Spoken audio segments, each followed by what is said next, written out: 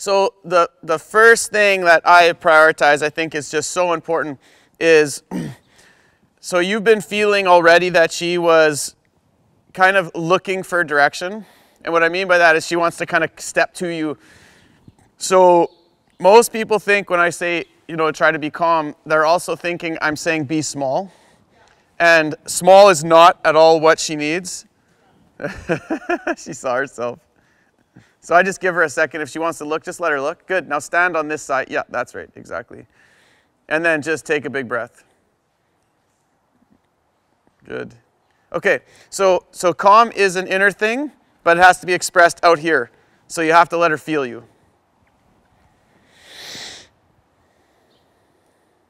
Good.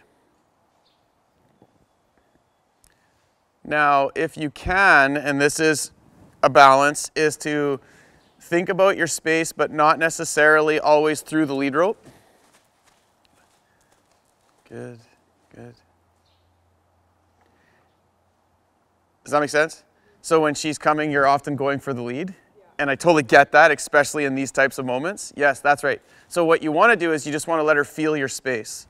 So the challenge of this is is that when you are in a position where, you know, especially when she's above us, yeah. But you want to get into a spot where you can let her start to that's it. To start feeling feeling me but because she's big, it's easy to do this and then grab the rein. So that actually makes us a little bit more absent. Good. So I'd like it to be that, there we go. Good. That there's a sense that she's actually feeling. So I'll step in a little bit and put my hand, there we go. And then just let her move. Just let her move. Good.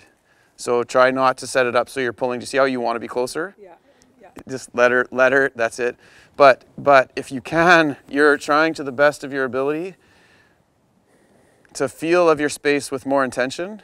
Good, good. And the more she can feel you out here, this there's a confidence in my presence if I'm not just inside myself, but I'm out here.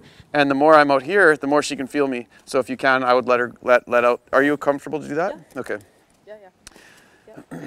So then when she struggles, I'll just change my thought. Good. Yes. Well, uh, yeah, sure. I'll take it. Good. But then I want, I want her to be able to experience my energy as well as, um, that's it. So now I'm not, I'm not, I'm not confining, but I'm not gone. Now I'm also going to talk to the lead to change her thought. There we go. So if I touch the lead, I'd like to see her thought change. Good, good. And now I'm also going to reach in and let her feel me again. So then if I touch the lead, I want to be talking to what she's thinking about. There we go. And not pulling on her physical body. So then, then what happens if she moves, I'm going to move with her. So I'm still spatial. See, I'm still, I'm still operating in my space. Good.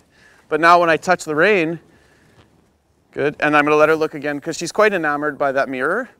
But, and so then what I'm going to do is I'm going to let her see how I feel about that. Good. And then this again is now the spatial piece again, but I'm not, I'm not gonna force her out of it. Good. I'm just gonna be here. Good. So she can feel, feel me without it becoming more confrontational. Because if I get big with her, then I'm gonna click her back into the guarded state. So I also want, to the best of my ability, to not pull on the rein. Because if I start pulling on the rein, well, that just triggers her back into tense state. So as crazy as it seems, I want the interaction because the more there's interaction, the more it allows her to feel how I'm interacting. Good. So eh, the challenge for a lot of times people is that they're just like, get out of the space. Well, if she's just out of your space, she's no longer feeling you. But here I can also help her. There we go. Good. Now as I step back, I'm not, I'm not release, receding energetically. Okay, and now if I touch the line, watch her thought. Good. So now I start to get to the ability where I can direct, direct and change her thought. So I touch the, there we go, good. And as I can start talking to her mind, I start talking to the control system. But if, I, but if I'm not able to talk to her mind, good. if I can't change where she's thinking, I can't calm anything. Good. And now we're going to let her move again. So then the question is as she's moving, can I connect my rein and watch her ear and watch her eye? Good. So I'm not saying, good. I'm not saying she has to, um, good kid. She has to think about me, but can I change what she's thinking about? Okay, so again, good. Good. Because when a horse is in an anxious state and they also have a desire or a belief that the human might not be the best deal, and I'm not saying that about you, but just about what her past thinking has been, then, then you, you can't just kind of force your way in. So that's it. You see how, like, so when you take too firm a hold, it, it puts her into a belief where she feels like you're forcing, even it, not that you are, but it puts her into that position. So if, again, what I want to do is I want to start getting to a place where if I touch this, there we go. She starts understanding I'm speaking to her state of mind. Now can I can, now can I change the thought of the of the ground? So she's obviously she has the thought that she might want to roll. And then the other piece is is that when I come in here, I want her to feel I want her to feel me. So I'm actually putting in a feel. Good. As I do that, because I want her to recognize my confidence here. That doesn't come by making her do stuff, it comes by how I am when she struggles. Now, again, good. So, there, the thought changed again. When a horse's mind and body are not together, there's anxiety immediately. When the mind and body come back together, there's a sense of peace. So, right now, I'm not trying to make her think of me. I just want to know that if I touch it, there we go, I can change where she's thinking. And so she starts to understand that she can control me quite easily. I'm not taking control away. I want her to understand. So the two forms, so she is a mind and pressure horse. Does that make sense? Like mentally, she's scanning all the time, and pressure becomes overstimulated to a point where she has to run. So if I can show her that the pressure of this can be controlled, with her what she does mentally. So then again, watching the eye and ear, feeling when a change comes, good. Connecting to that thought. So now the pressure is actually very controllable. So again, that's it. Good. Good. And every horse is different. Like I don't have actually any. This is why um, it's sometimes a struggle for people. So I'm back into the thought. Can I hit the thought? That's it.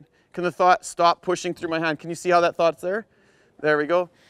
But if I just push her head, nothing changes in her mind because then you're just dealing with her physically. So then I let her move again. This is like you letting her off the line. So I'm giving her, I don't want her to feel confined. But on the same hand, I not every environment allows for us to let her rip around and but it's not always helpful if that's the only way we have to do it, right? Maybe in the beginning it works, but then we want to get to a place where that's not the case. So this thought to me is much better because it's mindful. Good, honey. It's mindful, like she's she's processing the world instead of reacting to it. So again, touching the lead, good, looking for a thought to change, good. And then as I'm doing this, I want you to be very observant. Draw the thought that I'm that I'm very much outside of myself. Because what, you, what was happening there is you were being quiet, but then going to the lead. So then she's not actually feeling you. And then she gets almost in trouble by the lead rope, like this starts to hold on to her. So I want to let that go. And then recognizing, so, so just getting thought to change can happen in many ways. So there I just touched her side with it. There we go. Good. But then when I'm, I want her to feel, feel me. And I'm not saying stay out of my space. I'm saying I got you. You see, and that's the difference. Space has been turned into this um, uh, dominance or aggression or respect concept. But most horses can't feel their people because we're all like this. We don't want to be judged or hurt or exposed or vulnerable, so we don't let our energy into our own space, or out of our space, excuse me, but what she needs is she needs to know, she needs to feel me. And the more she can feel me, the safer she can be if she can sense what my heart is saying for her. But if it's here, she's not feeling me. So then she's going to be lost in her own thinking.